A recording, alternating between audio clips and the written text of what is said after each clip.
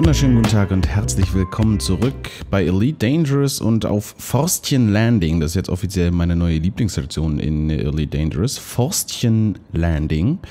Das ist in irgendeinem System, dessen Namen ich vergessen habe. Äh, und zwar ist das dieses hier. Ähm, steht das hier nicht irgendwo? Loki Takamu? Genau. Hier sieht man auch wieder ganz eindeutig, dass der Zufallsgenerator am Werk war. Und der Plan ist es natürlich immer noch, Geld zu verdienen mit äh, Bounty Hunting. Und äh, da gab es ja einige relativ äh, gute Ratschläge. Zum Beispiel versuch's doch mal mit einer Resource Extraction Site. Da gibt es da irgendwie eine ganze Menge auf einmal, äh, so an Piraten etc. pp. Und ich dachte mir, das ist eigentlich eine Schauidee, lass uns doch das mal machen. Ähm, und bin auf die, auf die Suche gegangen nach einer Resource Extraction Site und habe dabei festgestellt, dass ich äh, offensichtlich nicht mehr so genau weiß, wo man sowas findet. Denn in der Beta waren diese Dinge meist in, äh, an ähm, Planeten mit solchen Ringen. Und da waren die irgendwie verteilt und da bauten die Leute dann irgendwas ab. Und ja, dachte ich, das ist doch eigentlich dann wahrscheinlich jetzt auch immer noch so. Und dann habe ich irgendwie so, würde ich sagen, grob geschätzt zehn so eine Planeten abgeflogen und jedes Mal äh, nichts gefunden. Und bis ich dann auf die Idee kam, Mensch, naja, es gibt doch auch diese Asteroidengürtel, wo offensichtlich ja Ressourcen gemeint werden können, wenn man so ein Mining-Ship hat. Und äh, da werden doch dann auch Resource Extraction Sites sein, beziehungsweise das, was vorher bei diesen äh, Resource Extraction Sites war, wird dann jetzt da stattfinden. Das war meine Idee und dann bin ich für diese komischen Cluster von diesen Asteroidengürteln abgeflogen und da war dann einfach mal auch nichts, beziehungsweise nur irgendwelche Leute, die dort irgendwas abgebaut haben und sonst nichts. Vielleicht mal noch das ein oder andere Schiff der Systembehörden. Ja, und dann war ich so ein bisschen hilflos und äh, wusste nicht so genau, was ich jetzt eigentlich, wie, also wie ich so eine Resource Extraction Site finden sollte oder wo ich sonst eventuell mal ein bisschen effektiver mehr Schiffe auf einmal bekriegen kann, als jetzt hier im Frameschiff durch die Gegend zu düsen und jedes einzelne aus dem FSA zu ziehen, was eventuell gesucht wird.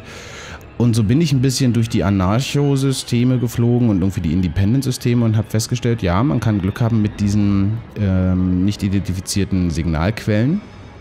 Da kann man reinspringen, dann sind dann plötzlich mal drei, vier äh, Piraten dabei und natürlich auch nach wie vor bei diesen Navigationssignalen. Und ähm, das kann man so ein bisschen abgrinden, reinspringen, gucken, was da ist, die Leute alle scannen. Wenn man die, die gesucht wurden, ja, vom Himmel geholt hat, dann kann man theoretisch einfach wieder rausspringen, eine kleine Runde drehen und wieder zurück. Und dann ist die ganze Geschichte zurückgesetzt. So habe ich das bisher jedenfalls immer festgestellt. Und ich hoffe, dass ich jetzt hier also auch wieder ein bisschen Glück habe und das so funktioniert. Und ich euch jetzt also auch noch ein paar interessante Dogfights zeigen kann, bei denen hoffentlich auch noch ein bisschen Kohle rumkommt. Ich war also nicht ganz untätig ähm, ähm, zwischen der sechsten und dieser hier dann der siebten Folge, glaube ich. Und habe also schon auch ein bisschen weiter Geld verdient. Ähm, einfach weil ich ein bisschen gucken musste, wie das alles so funktioniert. Also ein paar Sachen will ich dann auch ausprobieren. Es ist einfach unheimlich viel Leerlauf bei diesem Spiel dabei den ich nicht immer unbedingt zeigen will. Ich weiß, dass das eigentlich natürlich irgendwie zur ähm, Philosophie von einem Let's Play gehört, dass ihr auch wirklich einen Eindruck davon bekommt, wie es denn ist, dieses Spiel zu spielen und nicht äh, zusammengeschnittene Trailer-Varianten, ja, die irgendwie was vermitteln, was vielleicht gar nicht da ist. Das ist mir schon klar. Und ich versuche natürlich auch jetzt äh, vermehrt so die Reisesequenzen mitzuzeigen, aber wenn ich hier irgendwie durch die Gegend irre und dann selbst in einer halben Stunde das nicht hinbekomme, irgendwas Unterhaltsames zu zeigen von dem Spiel, außer wirr durchs All zu fliegen, dann ist es mir doch ein bisschen wenig gewesen. Deswegen ist so ein bisschen Material äh, von dem, was ich da so gemacht habe, einfach, das verwende ich jetzt halt einfach nicht. Das müsst ihr mir nachsehen. Ähm so, jetzt sind wir hier angekommen. Jetzt gucke ich einfach mal hier durch. Der wird hier zum Beispiel schon mal gesucht und da wurde mir jetzt gesagt, wenn ich da trotzdem diesen Kopfgeldscanner drüber laufen lasse, kann ich doch noch das Bounty einsammeln oder für mich beanspruchen, was eventuell in anderen Systemen auf diesen Ralph hier ausgesetzt wurde, dessen Atem eindeutig nach Katzenfutter riecht oder der Atem seiner Katze riecht nach Katzenfutter. So, und dann gucken wir mal. Das ist ein Hauler, das sollte jetzt kein Riesenproblem sein für mich. Ich muss bloß ein bisschen dichter ran und ich sollte dafür sorgen, dass er nicht dass er nicht abhaut. Das ist natürlich immer so ein Problem bei den Jungs. Ansonsten meine, meine, meine Waffensuche. Ich wurde ja gebeten, das mal mit einer Railgun zu probieren. So, das ist auf jeden Fall auch ein Plan. Das ist aber relativ relativ äh, teure Angelegenheit, so eine Railgun. Und ich habe jetzt hier eine Multicannon drin.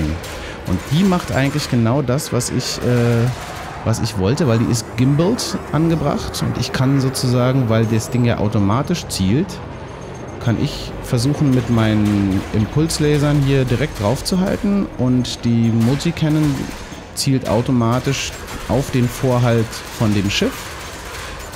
sollte vielleicht mal ein bisschen... Ah, das haben wir aber schon. Das waren auch nur 1200 Credits. Das war jetzt nicht ganz so berühmt. Und übrigens auch nochmal danke für den äh, Tipp mit der Taste fürs Durchschalten der Schiffe. Die ist, äh, der ist auch fantastisch gewesen weil ich also so eine ganze Menge ähm, Zeit sparen kann. Irgendwie einfach die Schiffe durchgehen und mal gucken, was da so dabei ist und nicht jedes extra anvisieren muss. Außer Reichweite. Uh, hier, gib Gummi. Pavel Langweil. Naja, ist auch eine Ansage. Ah, wenn man übrigens äh, das Ziel aus dem ähm, aus dem Visier verliert und einfach die Maustaste gedrückt hält, scannt der da weiter, wo man aufgehört hat. Das finde ich ganz cool. Hier ist der sauber, aber, jetzt können wir mal gucken, Pavel Langweil, hm, keine Eintragung. Der schießt aber auf irgendwas. Worauf schießt denn der? Schießt der auf das da? Stefan Hankhofer. Gucken wir uns doch den Herrn Hankhofer mal an. Kurz hier ein bisschen Gummi geben. Mal sehen, ob der wird nämlich zum Beispiel gesucht. Zwei Kilometer ist die Reichweite von meinem von meinem Bounty-Scanner. So, abgeschlossen. Und jetzt können wir wieder umschalten und Feuer frei. Uhuhuhu, der ist aber langsam unterwegs.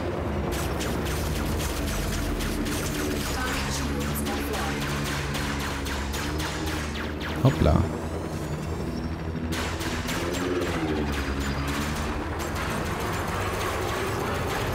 Also das mit der Multicannon gefällt mir auf jeden Fall schon richtig gut. Äh, die Railguns, wenn die was taugen, die sind halt relativ teuer und haben jetzt nicht so eine unglaublich hohe ähm, Schussfrequenz. Wären eventuell aber trotzdem was, um die Pulslaser ähm, auszutauschen. Nicht unbedingt diese Multicannon, weil mit der bin ich eigentlich ganz der bin ich eigentlich ganz zufrieden, muss ich sagen. Also, ich mit den Pulslasern auch nicht unbedingt unzufrieden, aber ähm,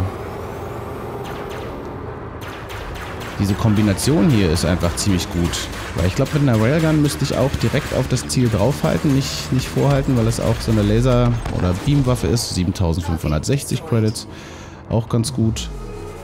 Das war die falsche Taste und jetzt haben wir hier noch ein Igel. Achso, das ist Pavel Langweil. Der ist jetzt rot, wahrscheinlich der Fraktion wegen, aber der war ja eigentlich sauber, ne? Das hatten wir doch schon, hoppla, rausgefunden. Kontakte, Pavel Langweil, ja, der hat keine Eintragung. So, was haben wir noch? Noch ein Igel. Der ist da oben. Kämpfen die da hoch?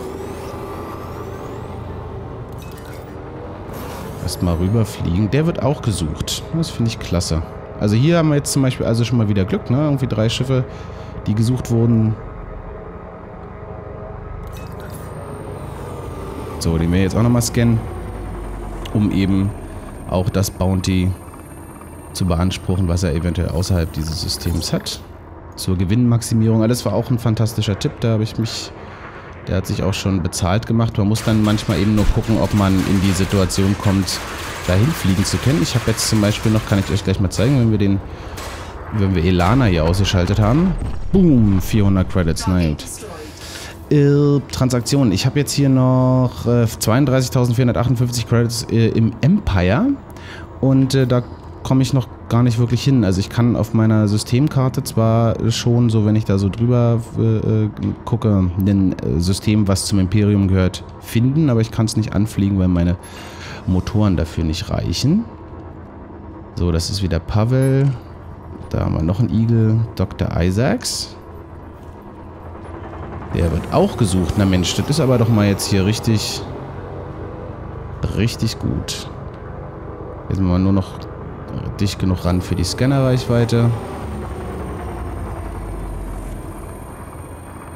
Und so kleinere Schiffe, Eagle, Sidewinder, das geht eigentlich mit der, auch mit dieser, das ist ja eigentlich fast noch die Anfangsbewaffnung, die ich hier habe, geht das trotzdem richtig cremig. Also Die haben eigentlich, sehen eigentlich alle kein Land. Zumal einige davon, habe ich festgestellt, auch überhaupt gar keine Schildsysteme haben.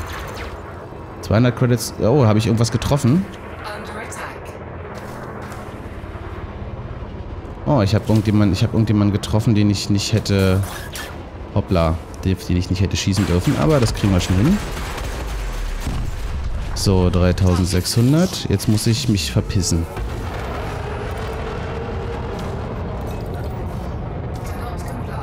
So. Okay, der Frameshift funktioniert wird jetzt natürlich äh, Faktor 18, weil ich, aber jetzt geht's los. Also ich habe irgendjemanden angehittet, den ich nicht hätte treffen dürfen. Dadurch habe ich jetzt, bin ich jetzt wahrscheinlich auch von den lokalen Sicherheitskräften angegriffen worden und das wollte ich jetzt nicht weiter riskieren. Ich habe mich jetzt gar nicht umgeguckt, wer mich da alles angreift. Ich steuere jetzt mal kurz das ähm, McLean Dock an. Da können wir ja dann einfach mal ähm, unser Kopfgeld schnell abbezahlen, die 200 Credits. Und auch gleich noch das einsammeln, was, äh, was wir jetzt hier verdient haben, was jetzt noch nicht so viel war. Normalerweise hätte ich jetzt gerne da noch ein bisschen weiter gemacht, weil es schien mir ja doch eine relativ gute Ausbeute zu sein. Aber so nehmen wir die Unterbrechung mit. Nochmal eine kurze Reisezeit. So ab 200 Lichtsekunden fange ich immer an, die Geschwindigkeit auf den blauen Bereich runter zu reduzieren. Das funktioniert eigentlich relativ gut. Es sei denn, man ist eine richtig lange Strecke geflogen und dann so mit 140, 150 C unterwegs, dann sollte man das schon ein bisschen früher machen, so bei 500, 600.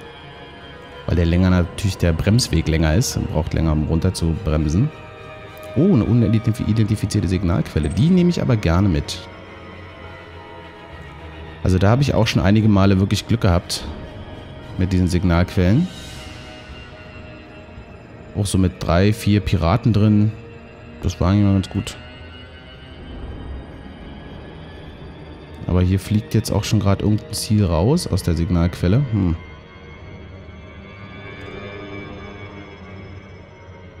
Mal gucken. Wenn er sich jetzt nicht mehr allzu viel Zeit lässt, haben wir es ja auch gleich geschafft. So diese letzten Meter, das zieht sich dann hier mal ein bisschen. Mach schneller. Noch ein Schiff, was wieder aus der Signalquelle rauskommt. Hm.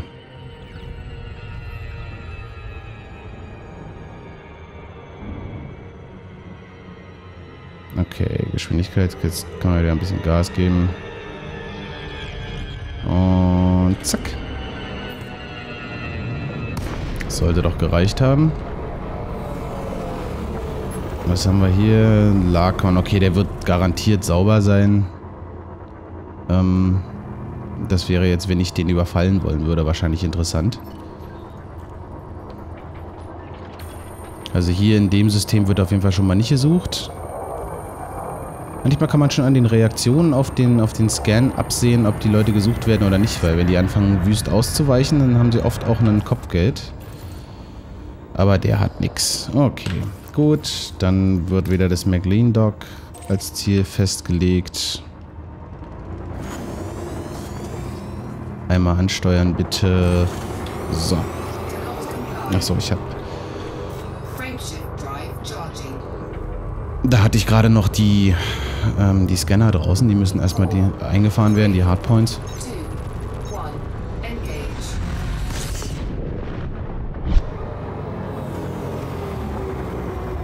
So, angekommen am McLean Dock.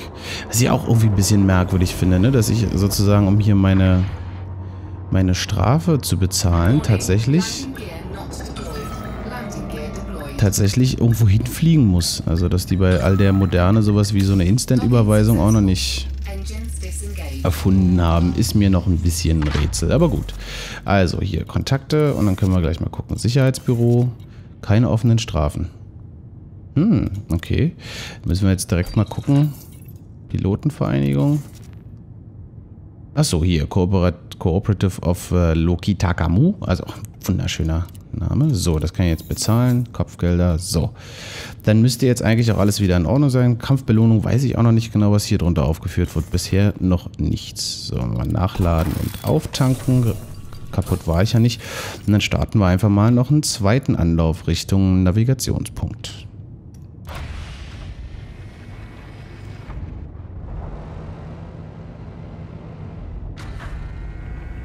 Dass er mich nicht drehen kann, wenn ich oben bin. Keine Ahnung. Habe ich mich wahrscheinlich aber auch schon mehrfach drüber, also aufgeregt will ich nicht sagen, aber so, Navigationssignal, Ziel festlegen. Ja, diese ganze Bounty-Hunterei, das ist eigentlich ganz witzig, ne? Wir hatten es ja schon ein paar Mal festgestellt. Ich, so beim, beim Spielen ist das alles auf jeden Fall irgendwie interessant und unterhaltsam.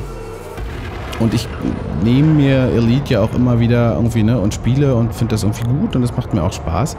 Aber natürlich, äh, wenn man dann erstmal so ein bisschen Geld zusammen hat, was macht man dann damit? Das ist, glaube ich, so mein größtes Problem, was ich bisher so habe, dass ich nicht genau weiß, wozu das Ganze, wenn ich jetzt ich meine, jetzt im Moment ist so ein bisschen klar, ich will vielleicht noch ein anderes Schiff haben irgendwie und so würde mir gerne eine Viper kaufen, die würde ich natürlich auch gerne vernünftig ausstatten und so. Aber was dann? Also dadurch, dass es nicht so richtig Möglichkeiten gibt, hier irgendwie die Weltherrschaft an sich zu reißen, denn ich meine, so das Dogfighting selber macht ja auch irgendwie Laune, das kann man auch nicht von der Hand weisen, das ist schon irgendwie witzig. Aber auf Dauer, also bei, bei ähm, zum Beispiel bei der X-Serie hat es mich immer am meisten motiviert, dass ich natürlich wusste, okay, ich fange halt irgendwie an, ein bisschen Geld zu sammeln. Dann konnte ich ja mehrere Schiffe besitzen, die ich dann per Autopiloten irgendwelche Handelsrouten abfliegen lassen konnte, konnte selber Stationen bauen, ähm, irgendwelche Fabriken und irgendwelche Förderanlagen, die dann wiederum irgendwie meine Fabriken belieferten und und und. Also man konnte sich so wie so ein kleines Handelsimperium aufbauen. Und äh, das ist irgendwie ganz cool gewesen, hat mich eigentlich immer irgendwie auch über eine sehr lange Zeit motiviert, auch wenn das ja viel so Menükrampf war. Das haben wir hier teilweise auch so ein bisschen, also unabhängig von der Reiserei, die man so hat zwischen den ähm, Systemen und hier irgendwie innerhalb der Systeme und so, was einen, würde ich sagen, bestimmt 70, 80 Prozent des Spiels ausmacht und durchaus auch nicht viel spannender ist als bei EVE Online. Da hat es den Vorteil gehabt, ich konnte sozusagen den Kurs in den Computer einhacken und nebenbei was essen gehen.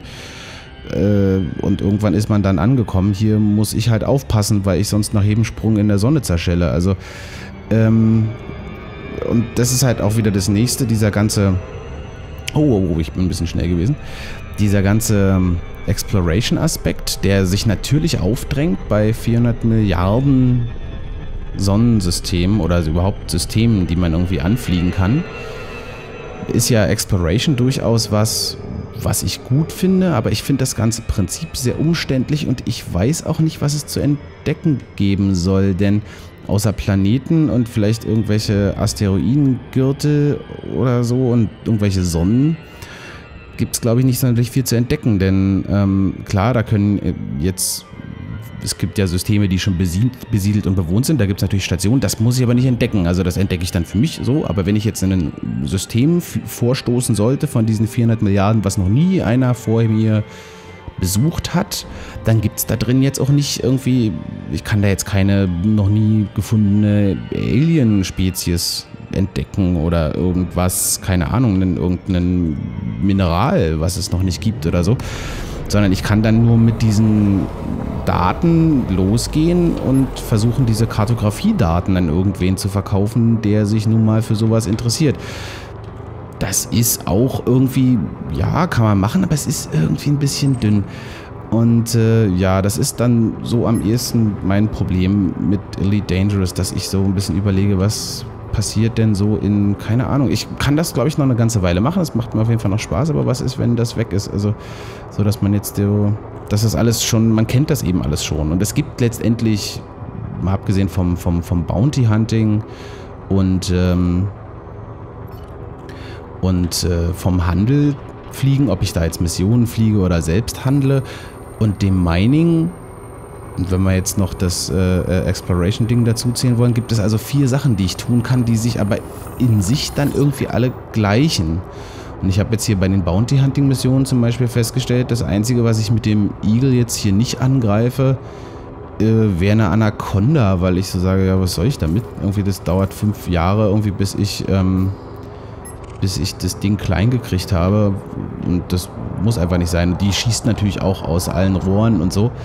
Das ist jetzt hier zum Beispiel eine, irgendwie da, selbst wenn der gesucht werden würde, würde ich mir das jetzt hier klemmen. Aber der ist auch sauber. So, ansonsten gibt es hier nur die zwei. So, also das heißt, auch selbst da bin ich so ein bisschen, ja Gott, klar, ich will mir eine Viper kaufen irgendwie, weil es halt schön, aber ob ich die jetzt wirklich brauche, weiß ich auch nicht so genau. Hm, also muss man so ein bisschen gucken. Ich bin äh, sehr gespannt und wäre euch dankbar, wenn ihr mir natürlich ähm, unter diesem Video in die Kommentare schreibt, was macht ihr denn so den ganzen Tag? Also ich meine, klar, da sind Leute dabei, irgendwie, die offensichtlich auch schon viel, viel größere Schiffe haben. Irgendwie irgendwelche Lakons Type 9 oder 7 oder was auch immer. Irgendwie, die ja schon richtig, richtig ordentlich Geld kosten und so. Das muss man ja also auch sich irgendwie mal, und das meine ich jetzt nicht böse, aber zusammengegrindet haben. Was anderes ist es ja schlussendlich nicht. Ähm, und was macht man dann so? Wie sieht das, das Endgame aus? Da bin ich ja nun ganz eindeutig noch nicht und äh, bin da sehr auf eure Erfahrungen äh, gespannt. So, und das könnt ihr mir also gern mal, wenn ihr wollt, teilt das mit mir. Mensch, jetzt springen hier die ganzen Schiffe, rauf, äh, Schiffe raus. Ich bin nicht so richtig multitaskingfähig. Wenn ich dann äh, so am, am, Quatschen bin, dann passiert nicht mehr ganz so viel nebenbei. Claudius mit der Anaconda, den hatten wir doch schon. Viper. Was bist du denn für einer? Du bist gesucht. So, und ich jetzt hier mit meinem Igel, ne? Die, ich, natürlich greife ich die Viper an. Da kenne ich nichts. So. Haben wir jetzt auch nochmal gemacht. Einfach nur so. Bisschen näher ran noch.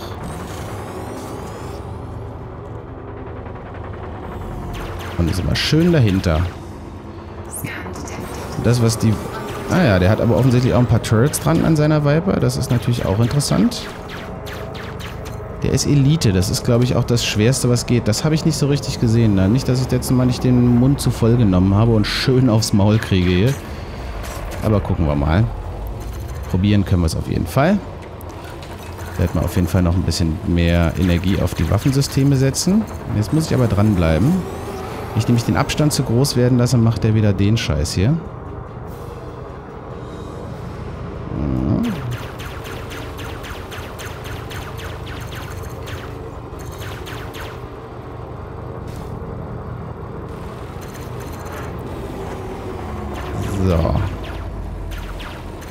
Ja, jetzt bin ich wieder stille, ne? Weil ich mich wieder ein bisschen konzentrieren muss, dass, mich, dass ich jetzt nicht den Mund zu voll genommen habe und mich jetzt von der Viper hier abschießen lasse. Indem ich gesagt habe, natürlich greife ich sie an. Kein Problem. Ich habe noch nicht mal ein, noch nicht einmal, glaube ich, das Schild runtergeballert bei dem Teil.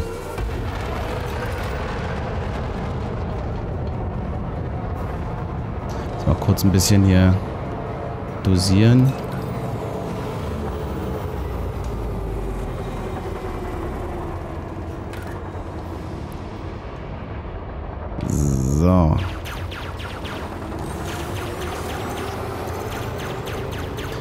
Meine, so richtig Schaden macht sie mir nicht. Also er kommt jetzt auch nicht so richtig in die Situation, mich anzugreifen. Aber er haut halt immer wieder ab. Ich muss mal hier schon vorsichtshalber...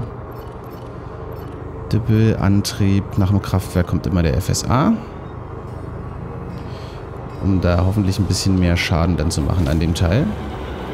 Ja, jetzt hat er mal einen Schuss abgesetzt gekriegt. Auch nicht so berühmt.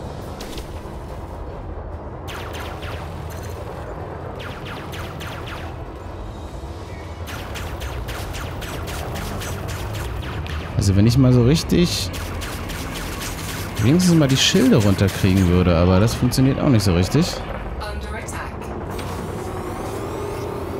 So, da greift jetzt auf jeden Fall noch jemand anders mit an. Das finde ich eigentlich ganz okay.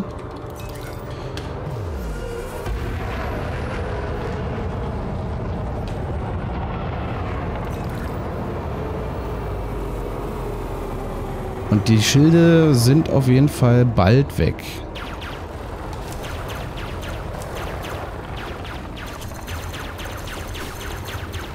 So, das ist jetzt blöd von mir gewesen. Jetzt lasse ich ihn eigentlich direkt auf mich zufliegen, oder? Nee, doch nicht. Ich habe ihn jetzt... Er ist jetzt... Zeigt mir seinen Hintern. Aber fette Schilde. Offensichtlich. So, das ist eine, das ist doch, ja, ja, dann haut er sofort wieder ab. Und wenn ich so wenig Energie auf dem Antrieb habe, ist, dann dauert das halt immer ewig, bis ich ein bisschen Geschwindigkeit gewonnen habe.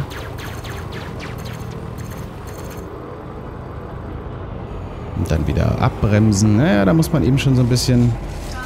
Oh, jetzt haben jetzt sind mal die Schilder offline. Das ist doch mal gut.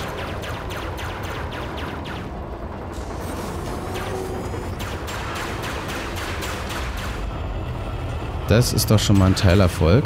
Und jetzt haut meine ähm, Multicannon die ganze Zeit daneben, weil ich natürlich auch nicht so richtig ruhig halte.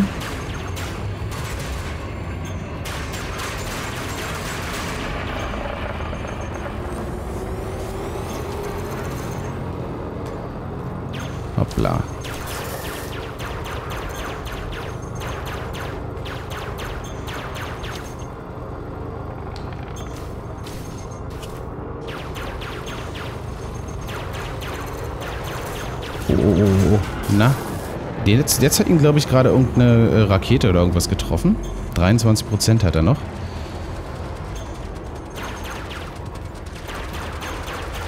Und irgendwas Großes hier neben uns haut da noch mit drauf.